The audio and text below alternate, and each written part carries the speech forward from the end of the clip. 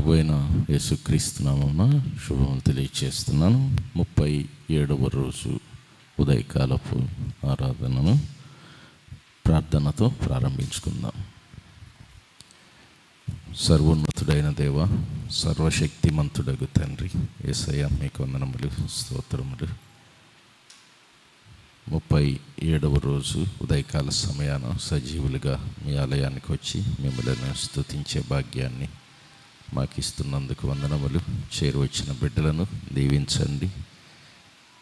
ఆన్లైన్లో ఈ ఆరాధనలో పాల్గొంటున్న బిడ్డలపై మీ దీవెనలు కుమరింప చేయండి మీ వాక్యం ద్వారా మాతో మాట్లాడి బలపరచవలనని మీ చిత్తాన్ని మా జీవితాల్లో జరిగించుకొనవలనని యేసుక్రీస్తు వేడుకొని ప్రార్థిస్తున్నాము తండ్రి. ఆమేన్.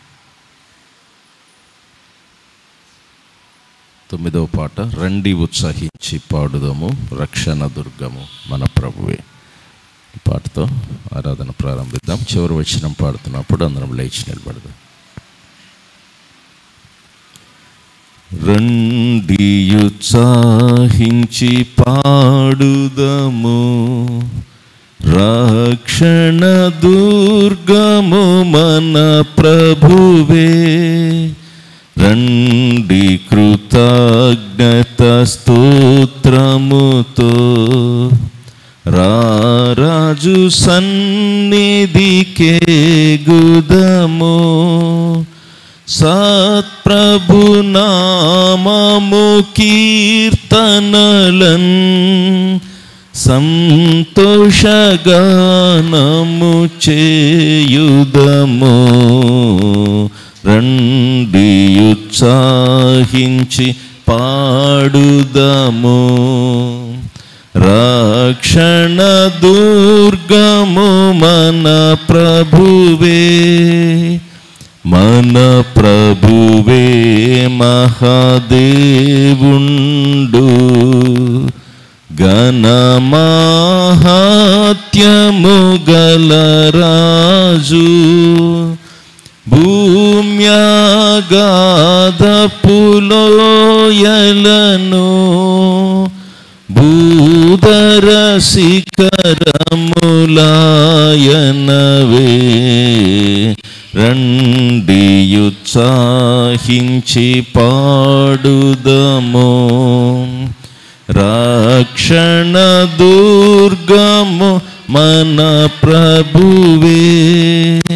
సముద్రము సృష్టించే నాయనదే సత్యుని హస్తమే భువి చేసన్ ఆయన దైవము పాలితులా. ఆయన మే పెడిగోరెలము రండియుత్సాహించి పాడుదము. రక్షణ దుర్గము మన ప్రభువే. ఆ ప్రభు సన్నిధి మోకరించి ఆయన ముందర మ్రోకుదము ఆయన మాటలు గై కొనినా నయ్యవి మనకెంతో మేలగును. రండి పాడుదము. రక్షణ దుర్గము మన ప్రభువే. కుమార శుద్ధాత్మకును. తగు స్థుతి మహిమలు కల్గుగాక. ఆదిని నిప్పుడు నెల్లప్పుడు నైనట్లు యుగముల నౌనుగక తన్ కుమార పరిశుద్ధాత్మకును తగు స్థుతి మహిమలు కల్గునామే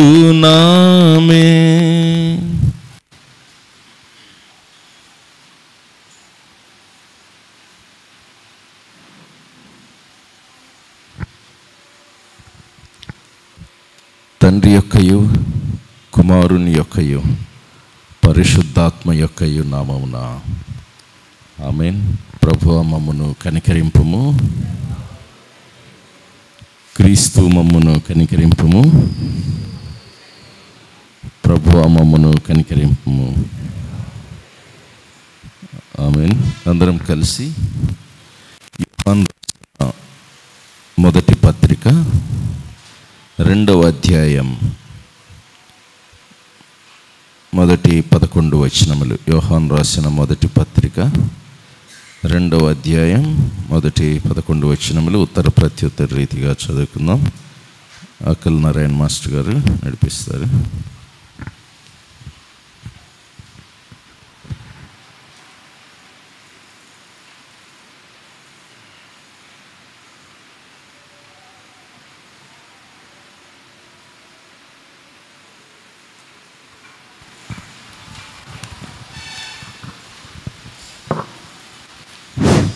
ఈ రోజుకి చేసినటువంటి పత్రిక ప్రకటన పాఠ్యభాగం. భాగం యోహాను రాసిన మొదటి పత్రిక రెండవ అధ్యాయం మొదటి పదకొండు వచ్చినాలు చదువుకుందాం.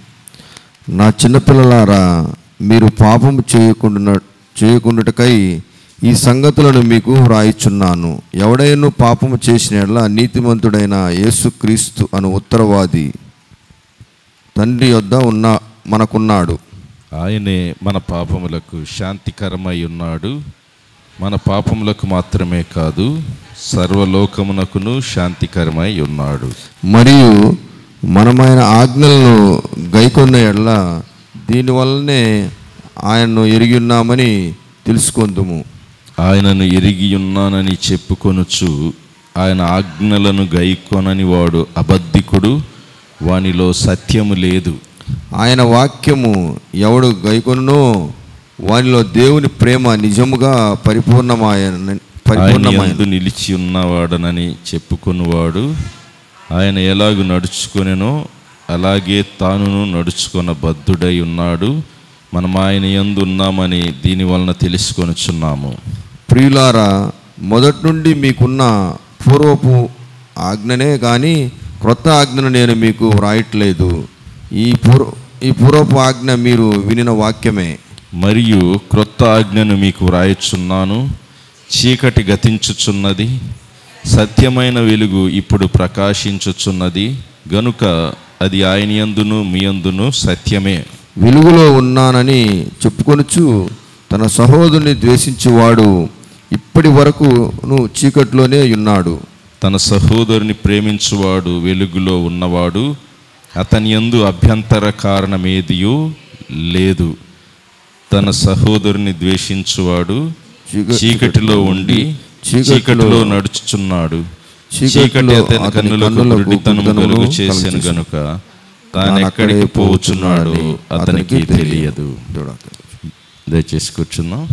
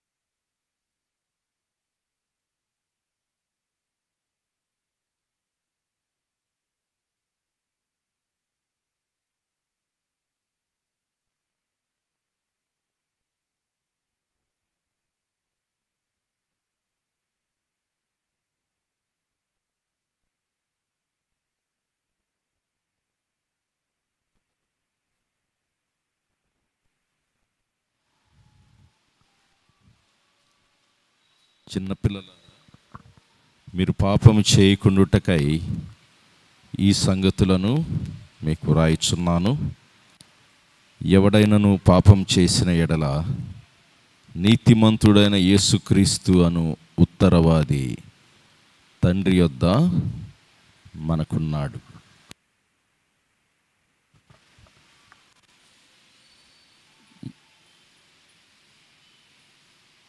ఎవడైనను పాపం చేసిన ఎడల నీతిమంతుడైన యేసు క్రీస్తు అను ఉత్తరవాది తండ్రి యొద్ద మనకున్నాడు.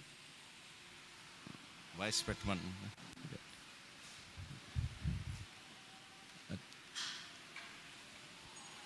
ఉత్తరవాది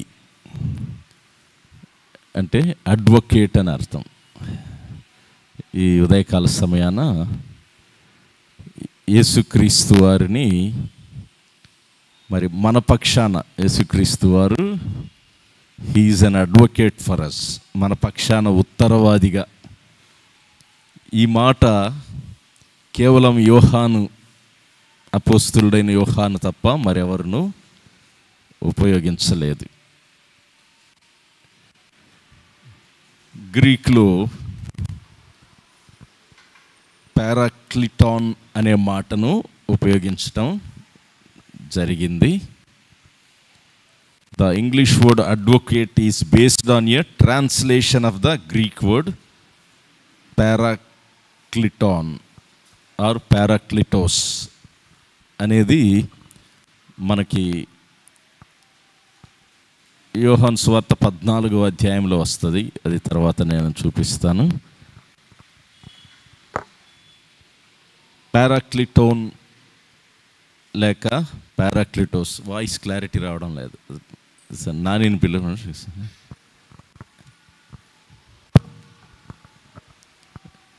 పారాక్లిటోన్ అనే మాటకి అర్థము హెల్పర్ అంటే సహాయకుడు లేక కౌన్సిలర్.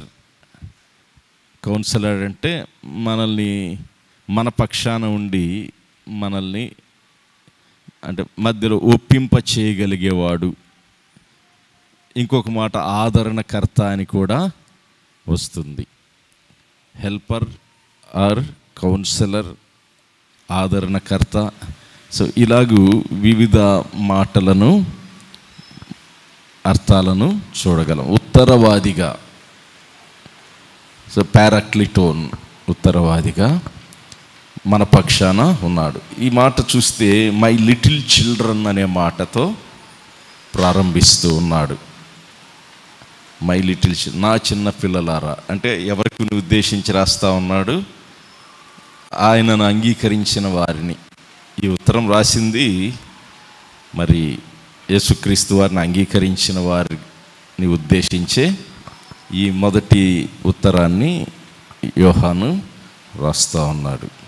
మరి రాస్తూ మీరు పాపము చేయకుండుటకై ఈ సంగతులను మీకు వ్రాయచున్నాను. My little children I'm writing these things to you so that you may not sin పాపం చేయకుండా ఉండాలి అని రాస్తా ఉన్నాడు. ఎవడైనను పాపం చేసిన ఎడల పాపం చేయకూడదన్నది మనం రక్షించబడ్డ ఉద్దేశం. ఒకవేళ పొరపాటున దేవునికి దూరమైన ఎడల మరలా మన పాపములను ఒప్పుకోవాలి. అలాంటి పరిస్థితుల్లో నీతిమంతుడైన యేసుక్రీస్తు అను ఉత్తరవాది తండ్రి యొద్ద ఉన్నాడు. ఈ క్రైస్తవ విశ్వాస జీవితంలో we all need to keep learning and growing on our journey through life అనుదిన జీవితంలో మనం నేర్చుకుంటూ ఉండాలి ఎదుగుతూ వెళ్ళాలి అంట క్రైస్తవ విశ్వాస జీవితంలో మరి ముఖ్యంగా we need to keep learning పెద్దవారం అయిపోయాం కాబట్టి మనం నేర్చుకోవాల్సింది ఏమీ లేదని కాదు. చాలా విషయాలు నేర్చుకోవాలి మనం. చిన్నపిల్లలైనా పెద్దవాళ్ళైనా వి కీప్ లర్నింగ్ అంటే నేర్చుకుంటూనే ఉండాలి. అనేక సంగతులు ఈ లోకంలో ఉన్నాయి. మనం చనిపోయే వరకు స్టూడెంట్స్మే అందరం. అందరం ప్రొఫెసర్స్ అయిపోము కదా? ప్రొఫెసర్స్ ఒక విషయంలో కావచ్చేమో? అంతేగాని నీకు అర్థమైతే చాలా విషయాలు మనకు తెలియదు కదా? దాంట్లో ఒక విషయం తర్వాత వచనాల్లో మనము గమనిస్తాం. మనకి ఏం తెలియదు అనేది along the way we often face challenges or make mistakes మన యొక్క విశ్వాస జీవితంలో మనకు సవాళ్ళు ఎదురవుతాయి వీ విల్ ఫేస్ ఛాలెంజెస్ అలాంటి సవాలు ఎదురైనప్పుడు వీ మే మేక్ మిస్టేక్స్ కొన్నిసార్లు సరైన డెసిషన్ తీసుకోలేక మనము తప్పులు చేయొచ్చు కొన్నిసార్లు. మరి thankfully we can rely on help and forgiveness from our spiritual advocate మరి మనకున్న ఉత్తరవాది అయిన యేసుక్రీస్తు వారు మన పక్షాన ఉన్నాడు కాబట్టి అలాంటి పరిస్థితులు ఎదురైనప్పుడు మనము దేవుని సహాయంతో సరి అయిన నిర్ణయాలు తీసుకోవడానికి బలం కలిగి ముందుకు వెళ్ళటానికి మనకు తోడుగా ఉంటాడు. బైబిల్ ఏం చెప్తా ఉందంటే the Bible declares that Jesus is our advocate in all circumstances. అన్ని పరిస్థితులలో యేసుక్రీస్తు వారు మనకు ఉత్తరవాది. ఉత్తరం అంటే జవాబు ఇవ్వటం కోర్టులో జడ్జి ఉన్నాడు ముద్దాయిగా మనమున్నాము మన పక్షాన యేసుక్రీస్తు వారు ఉత్తరవాదిగా ఉన్నాడు. ఇక్కడ మనకు మాట్లాడే అవకాశం లేదంట. We don't have any chance to speak మన పక్షాన ఎవరు మాట్లాడతారు? మన లాయర్ మన ఉత్తరవాది. యేసుక్రీస్తు వారే మాట్లాడతాడు. ఆయనే జవాబు చెప్తాడు. ఆయనే మన పక్షాన వాదిస్తాడు. ఎందుకు అలా మనకు మాట్లాడే అవకాశం లేదు అనేదానికి మనం గమనిస్తే మరి ఒక మూడు కారణాలు మనము మనకు ఎందుకు యేసుక్రీస్తు వారు మనకు ఉత్తరవాదిగా ఉన్నాడు అనేదానికి మనము గమనిద్దాం. Having an advocate means that we don't need to worry about being left alone in tough times కష్టకాలాల్లో ఒంటరిగా వదిలివేయబడ్డాము అనే బాధ అవసరం లేదు. ఎందుకంటే మనకు ఒక ఉత్తరవాది ఉన్నాడు. Whenever we need support or advice or someone to stand up for us ఎప్పుడైనా మనకి సహాయం కావాల్సి వచ్చిన సపోర్ట్ అడ్వైస్ సలహాలు కావాల్సి వచ్చిన లేక someone to stand for us మన పక్షాన ఎవరైనా నిలబడి మాట్లాడాల్సి వచ్చినా we can rely on an advocate to do so మనకున్న ఉత్తరవాది అయిన యేసుక్రీస్తు వారి మీద మనం ఆధారపడవచ్చు. He is a best advocate for us కదా? ఈ లోకంలో అడ్వకేట్స్ అనేవారు న్యాయం పక్షాన పోరాడాలి. కానీ ఇన్ జనరల్గా చాలాసార్లు ఇరువురి పక్షాన ఉంటారు కదా లాయర్లు. అంటే నిందితుడి పక్షాన ఉంటారు. తర్వాత నిందించబడి సి- ఎవరైతే ఆ యొక్క విట్నెస్గా కానీ దోషి ఒకరైతే దానికి ఆపోజిట్గా ఉన్నవారు ఇద్దరు పార్టీలు ఉంటారు ఒకరేమో బాధించబడ్డవారు ఒకరు బాధించినవారు. ఇద్దరి పక్షాన ఉత్తరవాదులు ఉంటారు లాయర్లు ఉంటారు. ఇన్ జనరల్గా మనం గమనిస్తే. బట్ న్యాయము ఎప్పుడు గెలవాలి కదా? సో ఎవరైతే అన్యాయంగా ఉన్నారో వారి పక్ వారికి శిక్ష పడవలసిందే. మన విషయంలో మనకు కూడా శిక్ష పడాల్సిందే. కానీ మన పక్షాన మన ఉత్తరివాది అయిన యేసుక్రీస్తు వారు ఏం చేశాడనే దాన్ని మనము గమనిద్దాం. If we need strength to help us when we're weak మనం బలహీనులుగా ఉన్నప్పుడు మనల్ని బలపరచడానికి ఉత్తరవాది అయిన యేసుక్రీస్తు వారు మనకు సహాయంగా ఉన్నాడు. If we need guidance to figure out what decision is best to make ఎలాంటి నిర్ణయం మనం తీసుకోవాలి అని మనం ఆలోచిస్తూ ఉన్నప్పుడు మన పక్షాన ఆదరణకర్త అయిన ఉత్తరవాదిగా మనకు ఉన్నాడు.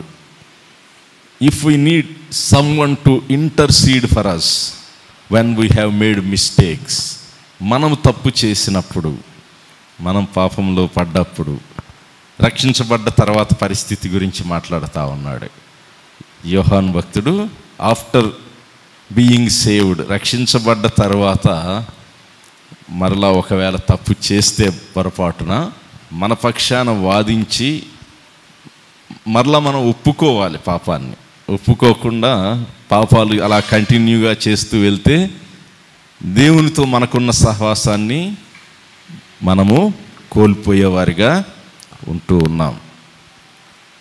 An advocate can help us in any circumstances even the most challenging situations అత్యంత క్లిష్టమైన పరిస్థితులలో ఎలాంటి సందర్భమైన ఉత్తరవాది అయిన యేసుక్రీస్తు వారు మన పక్షాన ఉన్నాడు.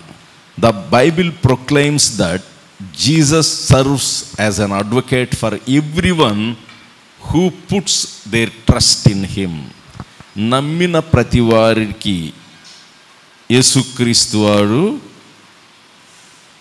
ఉత్తరవాదిగా మన పక్షాన ఉంటూ ఉన్నాడు.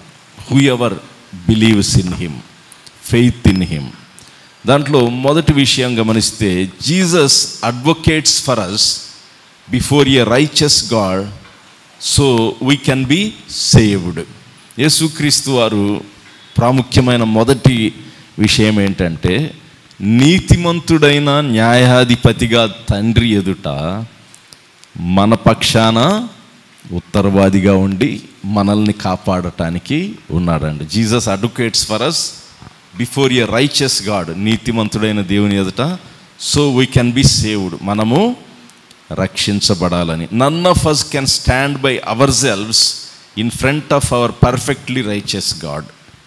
నీతిమంతుడైన దేవుని ఎదుట మనం ఎవ్వరూ నిలబడలేం. ఎందుకని? దానికి కారణం రోమ మూడు ఇరవై మూడులో రాయబడతా ఉంది ఏమని?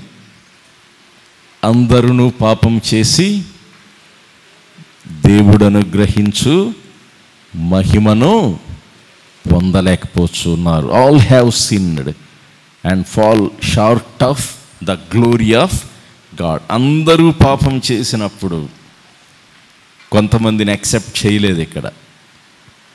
అందరూ పాపం చేసి దేవుడు అనుగ్రహించు మహిమను పొందలేకపోతా ఉన్నారు. ఇలాంటి పరిస్థితుల్లో మనం మన పాపములను ఒప్పుకుని ఎడల ఆయన నమ్మదగిన వాడును నీతిమంతుడును గనక మన పాపములను ఆయన మొదటి అధ్యాయం యోహాన్ మొదటి పత్రిక తొమ్మిదో వచనంలో మనం చూస్తాం. మన పాపములను మనం ఒప్పుకొని ఈ రెండో అధ్యాయం పైనే ఉంది చూడండి. ఒప్పుకొని ఎడల ఆయన నమ్మదగిన వాడును నీతిమంతుడును గనుక ఆయన మన పాపములను క్షమించి సమస్త దుర్నీతి నుండి మనలను పవిత్రులనుగా చేస్తాడు. ఇది యేసుక్రీస్తు వారితో మనకున్న రిలేషన్. ఆయన సన్నిధిలో మన పాపాలను మనం ఒప్పుకుంటే మనల్ని ఏం చేస్తాడంట? పవిత్రులనుగా చేస్తాడు. ఇలాంటి పరిస్థితుల్లో నీతిమంతుడైన తండ్రి అయిన దేవుని ఎదుట మనం నిలబడ్డప్పుడు మన పక్షాన వాదించేది ఎవరు? మన పక్షాన చెప్పేది యేసుక్రీస్తు వారు. మనం దోషిగా నిలబడ్డా అందరూ పాపం చేసి దేవుడు అనుగ్రహించు మహిమను పొందలేకపోతున్నారనే జాబితాలో మనం ఉన్నాం వీఆర్ ఇన్ దట్ లిస్ట్ కదా? నేనైతే ఉన్నాను. మరి మీరు ఉన్నారో లేదో నాకు తెలియదు కానీ అందరం అయితే ఉన్నామంట. కదా? We're in the list that everybody has uh sinned against God దేవునికి వ్యతిరేకంగా పాపం చేసి ఆయన విధించే శిక్షకు పాత్రులుగా తీర్పు ఇవ్వబడ్డది. So judgement is reserved for us కదా? అంటే ఇక తప్పు చేశాం మనము శిక్షకు పాత్రులము తప్పించుకునే అవకాశం లేదు మనకి. We doesn't have any chance వాదించి నేను నీతిమంతుడిని నేను మంచివాడిని నేను ఇన్ని పనులు చేశాను ఇంత బాగున్నానని చెప్పడానికి వీలు లేదు. ఇవన్నీ కూడా చల్లవు. ఆల్రెడీ మనం పుట్టిందే పాపంలో జన్ అలా జన్మించి మరి జీవిస్తున్నది కూడా పాపంలోనే. పుట్టుక పాపంలో మరి పాపంలోనే పాప కార్యాలు చేస్తూ మనము జీవిస్తున్నాం కాబట్టి తండ్రి అయిన దేవుడు న్యాయాధిపతి అయిన దేవుడు మనకు శిక్ష విధించటానికే నిలబడ్డాడు. కానీ మధ్యలో ఎవరొచ్చారు? Who is interceding for us యేసుక్రీస్తు వారు ఉత్తరవాదిగా మన పక్షాన నిలబడి మనకు మన పక్షాన డిఫెన్స్ చేస్తూ ఉన్నాడు. డిఫెన్స్ లాయర్ అంటారు కదా ఎప్పుడైనా సరే. డిఫెన్స్ లాయర్ డిఫెన్స్ అంటే మన పక్షాన అడ్డగించేవాడుగా ఉంటాడనమాట ఎస్ ఈయన తప్పు చేశాడు కానీ నేను ఆయనకు రావాల్సిన శిక్షను భరించాను. కాబట్టి ఈయనని క్షమించి వదిలిపెట్టండి అని మన పక్షాన మాట్లాడతాడు. ఎప్పుడైనా మనం ఆలోచించామా? మన పక్షాన శిక్షకు పాత్రులుగా మనము నిర్ణయించబడ్డప్పుడు ఉత్తరవాదిగా మన తరపున నిలబడి యేసుక్రీస్తు వారు వాదిస్తూ ఉన్నాడు. నీతిమంతుడైన దేవుని ఎదుట న్యాయాధిపతి అయిన దేవుని ఎదుట. ఆయన మన పక్షాన వాదించటానికి జనరల్గా ఎవరు రారు. ఎందుకంటే మనం క్వాలిఫై కాదు కదా శిక్షకు పాత్రులం.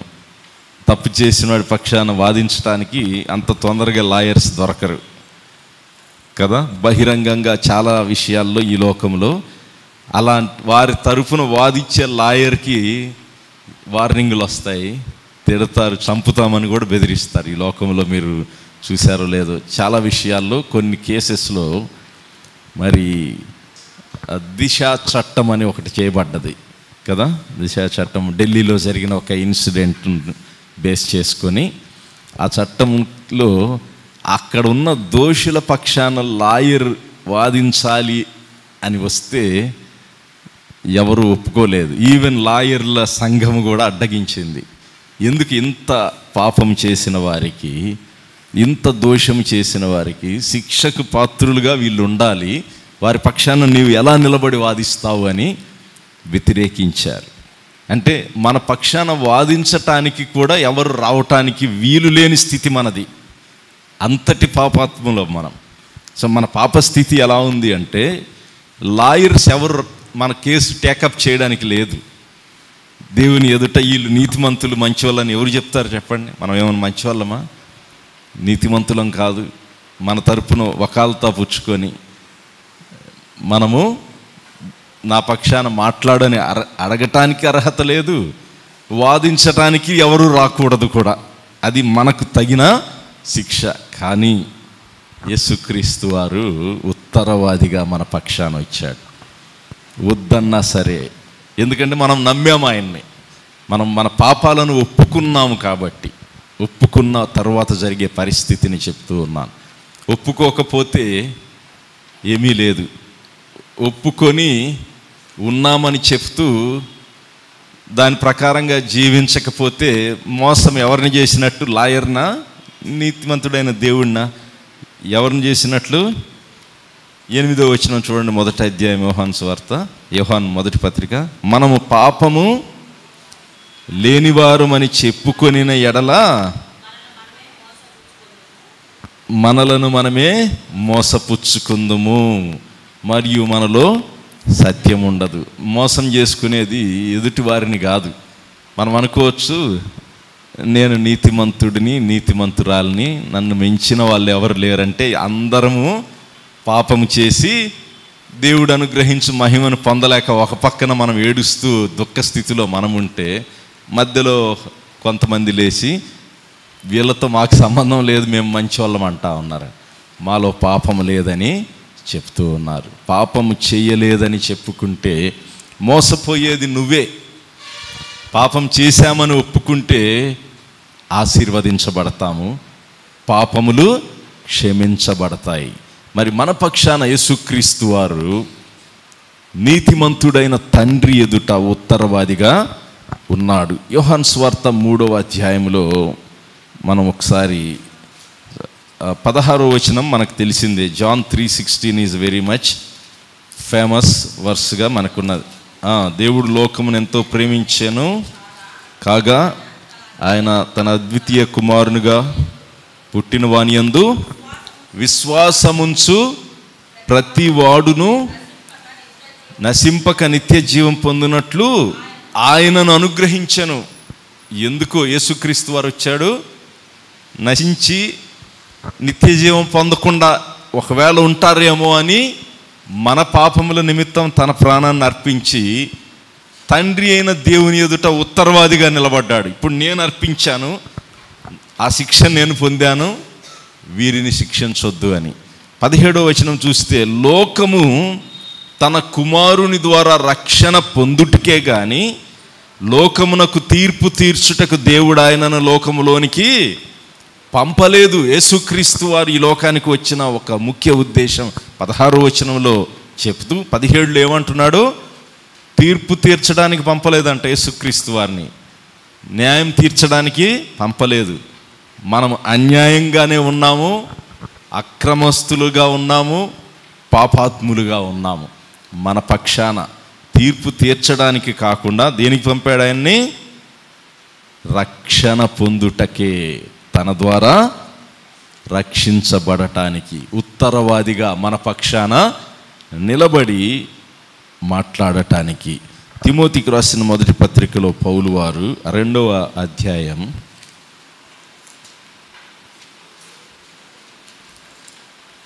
ఐదో వచనం నుండి మనం గమనిస్తే దేవుడొక్కడే దేవునికిని నరులకును మధ్యవర్తియు ఒక్కడే ఆయన క్రీస్తు యేసను నరుడు ఈయన అందరి కొరకు విమోచన క్రయధనముగా తన్ను తానే సమర్పించుకొనెను. దీనిని గూర్చిన సాక్ష్యము యుక్త కాలమందు ఇయ్యబడెను. ఇక్కడ మనకు మధ్యలో ఎవరున్నారంట? దేవుడొక్కడే. దేవునికిని నరులకును మధ్యవర్తియు ఒకడే. For there is one God and there is one mediator between God and men. మీడియేటర్గా. Mediator అంటే మధ్యవర్తిత్వము.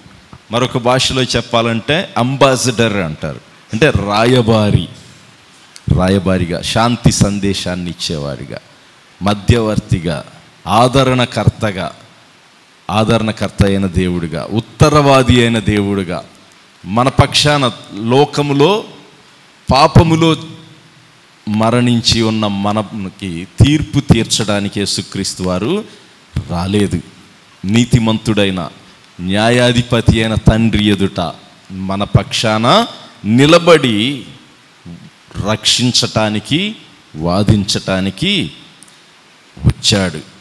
మరి రెండవ విషయాన్ని మనం గమనిస్తే Jesus advocates for us by guiding us మొదటిది రక్షించటానికి ఆయన ఎదుట నిలబడ్డాడు. రెండవది నడిపించటానికి టు గైడస్ నడిపించేవారు లేకపోతే మనకు ఎలాంటి డెసిషన్స్ తీసుకోవాలో కష్టము అవుతుంది. We can count on the best advice from Jesus whenever we ask him for help making decisions ఎలాంటి పరిస్థితుల్లో అయినా సరి అయిన నిర్ణయాలు తీసుకోవడానికి మనం ప్రార్థిస్తూ ఉంటాం. మనం అడుగుతూ ఉంటాం. కదా అడిగిన ప్రతి వాడికి ఇవ్వబడుతుందంట కానీ ఎలా అడగాలంట? ఆయన చిత్త ప్రకారంగా అడగాలి. అకార్డింగ్ టు హీస్ విల్ దేవుని చిత్త ప్రకారంగా అడుగు ప్రతివానికి ఇవ్వబడుతుంది. నువ్వు అని చెప్పటానికి లేదు. సరి అయిన నిర్ణయము. సో చాలాసార్లు మన జీవితాల్లో క్రాస్ రోడ్స్లో వచ్చి నిలబడతాం. అంటే ఎటు వెళ్ళాలి? ఏ డెసిషన్ తీసుకోవాలి? వివాహ విషయంలో ఏ ఏ దారిలో వెళ్ళాలి? చదువుకునే విషయంలో ఏ కోర్సును తీసుకోవాలి? ఉద్యోగ విషయంలో ఏ ఉద్యోగానికి వెళ్ళాలి? వివాహము కానీ చదువులు కానీ ఉద్యోగాలు కానీ ఇంట్లో జరిగే క్రిటికల్ కండిషన్స్లో మరి ఏ నిర్ణయం తీసుకొని మనం వెళ్ళాలి అని ఆ క్రాస్ రోడ్స్ దగ్గర ఆగిపోతాం. అది ఐదు రోడ్లు సెంటర్ కావచ్చు మూడు రోడ్లు కావచ్చు నాలుగు కావచ్చు ఐదు అంటే అన్ని ఛాయిసెస్ ఉంటాయి మనకి. ఒక్కోసారి రెండే ఛాయిస్ కనపడుతుంటాయి. ఒక్కోసారి స్ట్రైట్ రోడ్డే ఉంటుంది. ఒకసారి మూడు ఛాయిసెస్ ఉంటాయి. Which decision is best for us ఏది సరి అయిన నిర్ణయం? తీసుకోలేక చాలాసార్లు క్రైస్తవ విశ్వాసులుగా మనము సతమతం అయిపోతాం. ఈ నిర్ణయం తీసుకుంటే రేపటి దినాన మరలా రిగ్రెట్ అవుతామేమో బాధపడతామేమో. ఒక సంవత్సరం రెండు సంవత్సరాలు మూడు సంవత్సరాలు గతించిపోయినాక ఆ టైములో నాకు సరైన సలహా చెప్పేవాళ్ళు లేక నేను సరైన నిర్ణయం తీసుకోలేకపోయానని బాధపడితే సమయము తిరిగి రాదు. And we cannot go back. వెనక్కి వెళ్ళలేము. బాధపడుచు వ్యసనపడుచు దుఃఖపడుతూ ఉంటాం. అలాంటి పరిస్థితుల్లో మన పక్షాన యేసుక్రీస్తు వారు ఉత్తరవాదిగా ఉండి మనల్ని నడిపిస్తాడు. ఆయనను అడిగి ఆయన సన్నిధిలో ప్రార్థించి మనం అడిగే వాటికి సమాధానమైన పరిస్థితిని పొందగలవచ్చు. So is a guide for us మనల్ని నడిపించే దేవుడుగా ఉన్నాడు. గమనిస్తే హెబ్రిలకు రాసిన పత్రిక నాలుగవ అధ్యాయం పదిహేనవ వచనాన్ని చూద్దాం. నాలుగు పదిహేను. మన ప్రధాన యాజకుడు మన బలహీనతల యందు మనతో సహానుభావం లేనివాడు కాడు గాని మనతో సహానుభవం లేనివాడు కాడు గాని సమస్త విషయములలోనూ సమస్త విషయములలోనూ మనవలనే శోధింపబడినను. మన వలనే శోధింపబడినను. ఆయన పాపము లేనివాడుగా ఉండెను. ఆయన పాపము లేనివాడుగా ఉండెను. మన ప్రధాన యాజకుడు for we do not have a high priest who is unable to sympathise with our weaknesses మన బలహీనతల యందు మన ప్రధాన యాజకుడు మన బలహీనత యందు మనతో సహానుభవము లేనివాడు కాడు కానీ సమస్త విషయములలో మనవలనే శోధింపబడినను ఆయన పాపం లేనివాడుగా ఉన్నాడు. మనము శోధించబడి కొన్నిసార్లు తప్పు చేసి ఉండొచ్చు పడిపోయి ఉండొచ్చు. కానీ యేసుక్రీస్తు వారు ప్రధాన యాజకుడుగా మన పక్షాన ఉండి అలాంటి పరిస్థితులే ఎదుర్కొన్నాడు ఆయన మూడున్నర సంవత్సరాల కాలంలో. ఆయన శోధించబడ్డాడు నిలబడ్డాడు. పాపం చేయలేదు. ఆయనకున్న ప్రత్యేకత ఏంటంటే ఆయన పాపం చేయలేదు మనం చేశాము కాబట్టి మన బలహీనతలను ఎరిగిన దేవుడుగా ఆయన ఉండి దానికి తగినట్లుగా మనల్ని నడిపిస్తాడంట. He will able to guide us experience ఉంటే అంటే ఎక్స్పీరియన్స్ కౌంట్ అంటారు దీని కొరకే కదా అనుభవం ఉన్నప్పుడు ఏదైనా ఫెయిల్యూర్స్ వచ్చినప్పుడు తప్పకుండా ఇలా వెళ్ళమని చెప్తాం. కదా ఎక్స్పీరియన్స్ అనేది మనకి ఏం చేయాలంట? లెసన్స్ నేర్పించాలి. అంటే ఫెయిల్యూర్ అయిపోయినా సరే సక్సెస్ అయినా ఫెయిల్యూర్ అయినా ఎక్స్పీరియన్స్ మిగులుతుంది మనకి. అంటే దాని గుండా మనము వెళ్ళి ఉంటాం ఏ పరిస్థితి అయినా సరే whatever it may be ఒకసారి ఫెయిల్ అయ్యామనుకోండి అది మనకు ఒక లెసన్ నేర్పియాలి. ఏమని? ఇలా వెళ్తే మనం ఫెయిల్ అయ్యాం కాబట్టి అలా వెళ్ళకుండా ఎక్కడ తప్పు చేశామో గమనించాలి. మరలా అదే తప్పు చేస్తే ఎప్పటికీ పాస్ కాలేం మనం. అంతేనా? మరలా మరలా చేసిన తప్పులే చేసి చేసిన మార్గాల్లోనే వెళ్తూ అదే మెథడాలజీలో వెళ్ళామనుకోండి ఎందుకు పాస్ అవుతాం ఫస్ట్ టైం మనం ఫెయిల్ అయినప్పుడు ఏ విషయమైనా whatever the matter maybe జీవిత విషయాల్లో మరలా అదే పద్ధతి పట్టుకొని అదే మార్గంలో వెళ్తే మరలా ఫెయిల్ అవుతాం ఎందుకంటే దాంట్లో ఎక్కడో తప్పు ఉంది. అంత తప్పు కాదు. ప్రాసెస్ అంతా కూడా తప్పు కాదు. ఆ ప్రాసెస్లో ఆ ఆలోచన విధానంలో ఆ మెథడాలజీలో ఎక్కడో పొరపాటు ఉంది. ఆ ఒక్కదాన్ని గ్రహించాలి. దాన్ని తీసివేసుకోగలిగితే మనం సక్సెస్ కాగలం. మాటి మాటికి అదే ఏరియాలో తప్పు చేసుకుంటా ఎందుకు పాస్ కావడం లేదు ఎందుకు నేను సక్సెస్ కాలేకపోతా ఉన్నాను ఎందుకు నేను పొందలేకపోతా ఉన్నాను ఎందుకు ముందుకు వెళ్ళలేకపోతా ఉన్నాను అని అనుకుంటే పొరపాటు ఏంటో గ్రహించాలి. అందుకే ఎక్స్పీరియన్స్ కౌంట్స్ అంటారు. కదా చదువెంత చదివినా సరే ఎక్స్పీరియన్స్ కొరకు ఏం చేస్తారు? ఒక పీరియడ్ పెడతారు ప్రొబేషన్ పీరియడ్ అంటారు. అంతేనా? టీచర్స్కి టూ ఇయర్స్ పెట్టారు ఇంతకు ముందు. మిగతా వారికి ఆరు నెలల నుంచి వన్ ఇయర్ ఉంటుంది. వెంటనే పర్మనెంట్ చేసేరు ఎవరిని కూడా ఉద్యోగంలో. ఒక ఆరు నెలలు కష్టపడాలి మన పర్ఫార్మెన్స్ని గమనిస్తారు. ఎక్కడ పొరపాటు చేస్తే ఇలా కాదు కరెక్ట్గా చేయమంటారు. అంతేనా? సో మనకి ఇండియాలో డ్రైవింగ్ చేసేదానికి రూల్స్ డిఫరెంట్గా ఉంటాయి. అమెరికాలో డ్రైవింగ్కి డిఫరెంట్గా ఉంటాయి. మనకి driving driver seat right side ఉంటుంది. అమెరికాలో లెఫ్ట్ సైడ్ ఉంటుంది. ఇక్కడ రూల్స్ అక్కడ చల్లవు. అక్కడ రూల్స్ ఇక్కడ చల్లవు. దాని ప్రకారంగా నడిస్తే యాక్సిడెంట్లు అవుతాయి ఎందుకంటే మనకున్న రూల్స్ ప్రకారంగా మనం ఆల్వేస్ లెఫ్ట్ లేన్లోనే వెళ్ళాలనేది అంటే ఎడం వైపే వెళ్తూ ఉండాలి. మీరు గమనించారో లేదో మన రోడ్లలో మన బండ్లన్నీ కూడా రోడ్డుకు ఎడం వైపే డ్రైవ్ చేసుకుంటూ వెళ్తూ ఉండాలి. కదా? That is the simple basic అనమాట ఎడం వైపు డ్రైవ్ చేయాలి. ఎడం వైపుకి తిరిగేటప్పుడు సిగ్నల్ లైట్ వేయాలి. ఎడం వైపుకి వెళ్ళేది. స్ట్రైట్గా వెళ్తుంటే స్ట్రైట్గా వెళ్ళే లైట్ వేయాలి. కుడివైపు తిరుగుతుంటే కుడివైపు లైటు వెయ్యాలి. These are the basic things driving నేర్చుకొని డ్రైవింగ్ టెస్ట్ పాస్ కావాలి అంటే ఇవి ఫాలో కాకుండా నేను కుడివైపు వెళ్తాను నన్ను పాస్ చేయమంటే కుదురుతుందా? కుదరదు. ఆ తప్పు కరెక్ట్ చేసుకోవాలి. నువ్వు ఎడం వైపే వెళ్ళాలి. లెఫ్ట్ టర్న్ అయ్యేటప్పుడు లెఫ్ట్ సిగ్నల్ వేయాలి స్కూల్ జోన్ ఉన్నప్పుడు స్లో చేసుకోవాలి. బోర్డులు కనపడుతూ ఉంటాయి. కాషన్ జోన్లో ఉంటాం. స్కూల్ జోన్ ఉన్నప్పుడు మీరు గమనించారో లేదు స్లో చేసుకోవాలి. చిన్నపిల్లలు బొమ్మ పెడతారు అక్కడ రన్నింగ్ చేస్తున్నట్లుగా ఇలా ఎందుకంటే దేర్ ఈజ్ ఏ స్కూల్ చిన్నపిల్లలు అజాగ్రత్తగా ఉంటారు తొందరపడి దాటుతూ ఉంటారు. కాబట్టి నీవు స్పీడ్ తగ్గించుకొని గమనించి వెళ్ళమంటారు. ఆ రూల్ నువ్వు అతిక్రమిస్తే నువ్వు ఫెయిల్ అయిపోతావు టెస్ట్లో పాస్ కావు.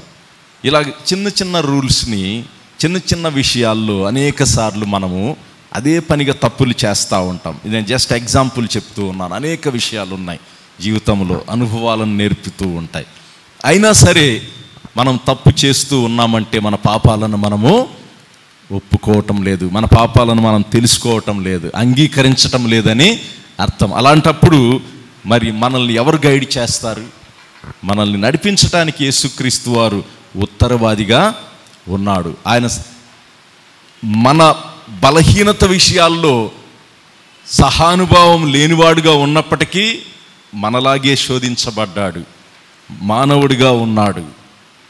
మన పాపముల నిమిత్తం ఆయన మరణించి తిరిగి లేచాడు.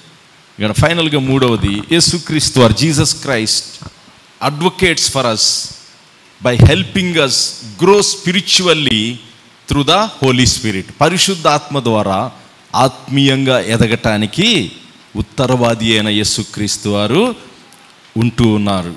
మరి యోహన్ స్వార్త పద్నాలుగు పదహారులో మనం చూస్తే Jesus of and works in our life through the Holy Spirit. పరిశుద్ధాత్మ ద్వారా మనతో పని చేస్తాడు. పద్నాలుగు పదహారు. మీరు నన్ను ప్రేమించిన ఎడల మీరు నన్ను ప్రేమించిన ఎడల నా ఆజ్ఞలను గైకొందురు. నా ఆజ్ఞలను పదహారు నేను తండ్రిని వేడుకొందును. మీ యొద్ద ఎల్లప్పుడూ నుండుటకై. మీ యొద్ద ఎల్లప్పుడూ నుండుటకై. ఆయన వేరొక ఆదరణకర్తను. ఆయన వేరొక ఆదరణకర్తను. అనగా అనగా సత్యస్వరూపియగు ఆత్మను. సత్య స్వరూపియగ ఆత్మను మీకు అనుగ్రహించును. మీకు అనుగ్రహించును సత్య స్వరూపియగ ఆత్మ.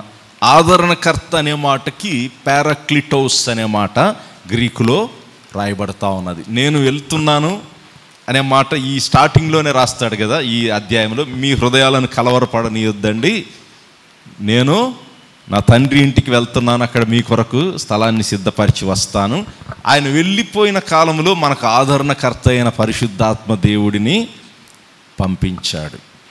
ఆయన వెళ్ళిన తర్వాత వచ్చాడు తండ్రి అయిన దేవుడుగా కుమారుడైన దేవుడుగా పరిశుద్ధాత్మ దేవుడుగా ఆయన ఉన్నాడు. పరిశుద్ధాత్మ దేవుడు మన పక్షాన ఉత్తరవాదిగా ఉన్నాడు. I will ask the Father నేను తండ్రిని వేడుకుంటాను and he will give you another advocate who will never leave you మరొక ఉత్తరవాదిని మరొక ఆదరణకర్తను మనల్ని ఎన్నడూ విడిచిపెట్టకుండా ఆత్మీయ విషయాలలో ఎదుగుదల నిమిత్తం చేసిన తప్పులే మళ్ళీ మళ్ళీ చేసి పడిపోతా ఉంటే దాన్ని దేవుడు అంగీకరిస్తాడా?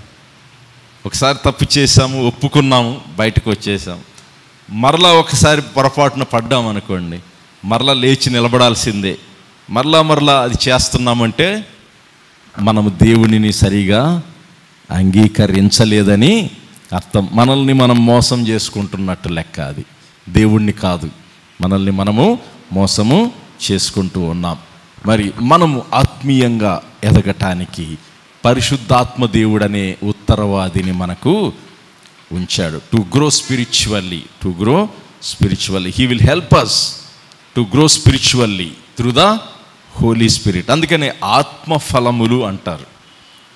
హోలీ స్పిరిట్కి సంబంధించి ఆత్మ ఫలములు ఫలించటానికి. To produce the fruit of the Spirit ఆత్మ ఫలములను ఫలించటానికి ఎదుగుదల కలిగి ఉండటానికి. అది ఫలించాలి అంటే ఆ బీజం నాటబడాలి మనలో. ఆత్మ ఫలములు గలతి ఐదు ఇరవై రెండులో రాయబడ్డాయి కదా? ప్రేమతో ప్రారంభించబడుతుంది. సెల్ఫ్ కంట్రోల్ కదా? మరి చివరిలో self control joy love joy peace patience kindness ప్రేమ సంతోషము సమాధానము దీర్ఘశాంతము దయాలుత్వము మంచితనము విశ్వాసము సాత్వికము ఆశా నిగ్రహముతో ఎండ్ చేస్తాడు. తొమ్మిది ఉన్నాయి. ఇవి ఏ స్థితిలో ఉంచేసాం మనం? రక్షించబడ్డప్పుడు ఈ విత్తనం నాటబడ్డది. మరి అది మొక్కగా ఉందా? చెట్టుగా ఉందా? ఫలించిందా? మధ్యలో ఆగిపోయిందా? ఫలించనంత వరకు వీటి రుచిని మనం బయటకు చూపలేం. ఈ లోకానికి ఈ ఫలము యొక్క రుచి ఎప్పుడు చూస్తారు? పండినప్పుడు. ఇంకొక నెల ఆగితే ఏమొస్తాయి మనకి? మామిడి పళ్ళు. ఓన్లీ సీజనల్ ఫ్రూట్ అది. కదా? సీజనల్ ఫ్రూట్స్ అంటే ఓన్లీ ఈ కాలంలోనే మామిడి పళ్ళు వస్తాయి. ఇంకొక సీజనల్ ఫ్రూట్ సీతాఫలం. అది దానికి సంబంధించిన కాలంలో పండుతుంది. సీజనల్ ఫ్రూట్స్ కొన్ని ఉన్నాయి. మిగతా అన్ని సంవత్సరం పొడవునా పండించేసే టెక్నాలజీ వచ్చేసింది మనకు. ఒకప్పుడు లేదు అలాగే. దానిమ్మకాయలైనా వాటి కాలంలో పండేవి. జామకాయలు కూడా వాటి కాలంలో పండేవి. ఉసరి ఉసిరికాయలైతే వాటికి ఒక సీజన్ ఉంది. మిగతా టయాల్లో పండవు. మామిడికాయలు ఇప్పుడు సంవత్సరం అంతా పండించేస్తున్నారు కాకపోతే బెస్ట్ ఫ్రూట్స్ ఎప్పుడు వస్తాయి దానికి తగిన టైంలో మరి మనము రక్షించబడ్డాము పాపక్షమాపణ పొందాము. పరిశుద్ధాత్మ దేవుడు ఉత్తరవాదిగా మన పక్షాన ఉన్నాడు. తండ్రి ఎదుట మనల్ని నిర్దోషులుగా తీర్చి పెట్టాడు నిలబడ్డాడు కాబట్టి నిర్దోషులుగా తీర్చాడు. మనకి గైడ్ చేస్తూ ఉన్నాడు. మనం ఆత్మీయంగా ఎదుగుతున్నామా లేదా? ఎదిగితే దాని యొక్క ప్రూఫ్ ఏంటి? నిదర్శనం. ఫలించాలి కదా? ఏం ఫలించాలి? మనలో ప్రేమ ఉందా లేదా? ప్రేమ సంతోషంతో ప్రారంభించాడు. తిరిగి మనం ఇదొక్క మొద యోహాన్ మొదటి పత్రికలోకి ఒక వచనం చూసి నేను కంక్లూడ్ చేస్తాను ముగిస్తాను. మొదటి పత్రికలో ఇందాక మనం చదువుకున్నాం. దాంట్లో ఏడో వచనం నుండి మనం గమనిస్తే మనకు మొదటి వచనంలోనే ఉత్తరవాదిని గురించి రాస్తూ మనకు ఉత్తరవాదిగా ఉన్న యేసుక్రీస్తు పక్షాన మనం ఉన్నప్పుడు ఏడో వచనం నుండి ఏం రాస్తాడంటే ప్రియులారా మొదటి నుండి మీకున్న పూర్వపు ఆజ్ఞనే కానీ క్రొత్త ఆజ్ఞను మీకు రాయటలేదు ఈ పూర్వపాజ్ఞ మీరు వినిన వాక్యమే. మరియు క్రొత్త ఆజ్ఞను మీకు రాయిచున్నాను చీకటి గతించుచున్నది. సత్యమైన వెలుగు ఇప్పుడు ప్రకాశించుచున్నది గనుక అది ఆయన యందును మీ అందును సత్యమే. ఇక్కడ రాస్తాడు వెలుగులో ఉన్నానని చెప్పుకొనుచు. ఏం చెప్పుకుంటున్నాం మనము? వెలుగులో ఉన్నామని. అంటే మన పాపాలు క్షమించబడ్డాయి. ఉత్తరవాదిగా యేసుక్రీస్తు వారు మన పక్షాన వాదించి మనల్ని నీతిమంతులుగా తీర్చిపెట్టాడు మనల్ని నడిపిస్తున్నాడు ఆత్మీయంగా ఎదుగుదల పొందటానికి ఉత్తరవాదిగా ఆదరణకర్త అయిన దేవుడుగా ప్రధాన యాజకుడిగా మన పక్షాన ఉన్నాడని చెబుతూ ఏం చేస్తామంట? వెలుగులో ఉన్నానని చెప్పుకొంచు తన సహోదరుని ద్వేషించువాడు ఇప్పటికీ ఇప్పటి వరకును చీకటిలోనే ఉన్నాడంట. ద్వేషం అంటే ప్రేమ లేకపోవడమే కదా? ప్రేమ ఉంటే ద్వేషించం.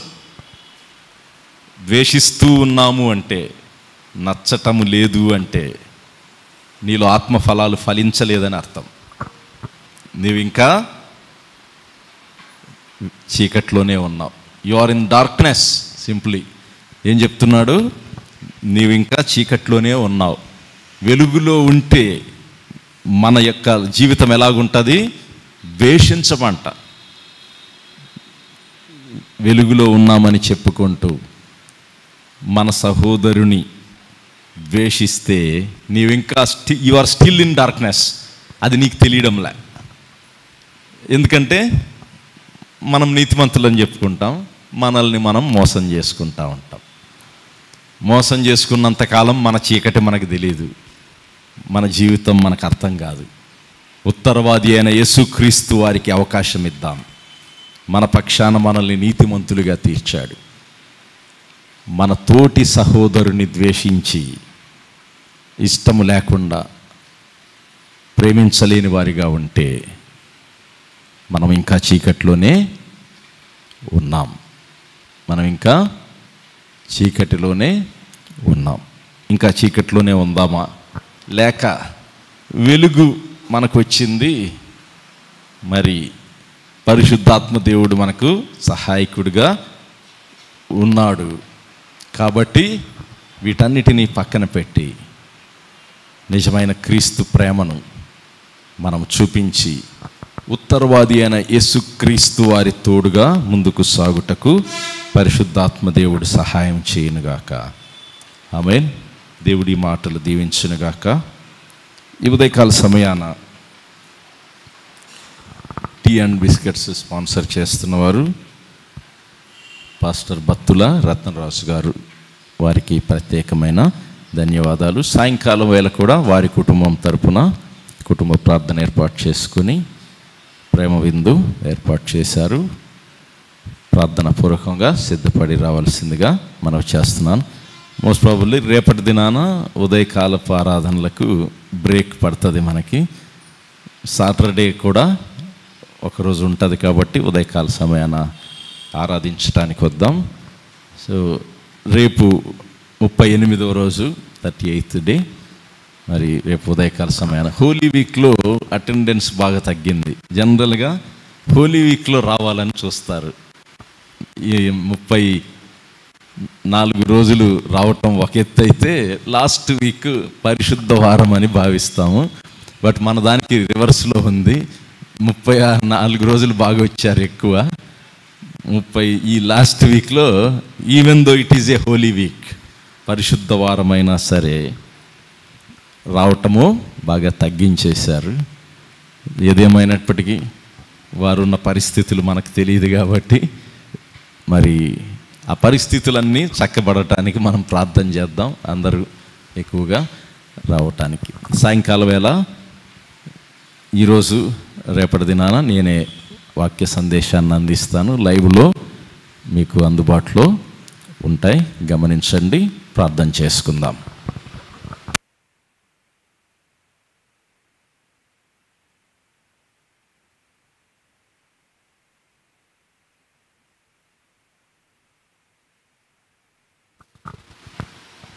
సర్వశక్తియు మిక్కిలి కనికరమగల దేవ ఉత్తరవాదిగా మా పక్షాన ఉన్నారు. మేము అర్హులము కానప్పటికీ